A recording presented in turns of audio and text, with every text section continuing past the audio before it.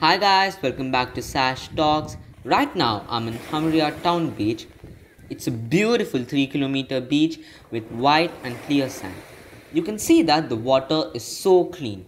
It's very cloudy here. Normally the shade of the water is turquoise, green or blue in color depending on the weather and the time of the day. Let me tell you more about the town of Hamriyah. It lies on the coast between Ajman and Umm Al Quwain. It belongs to the Emirate of Sharjah. It's mostly known for its free zone and industry. The town also has a nice park and it's a heritage village where cultural events are often held. This beach has seating areas, a children's play area as well as barbecue areas. Along the shore there are lifeguards. However, there are water currents along the beach so care should be taken. Okay guys, see you all in the next video. Bye.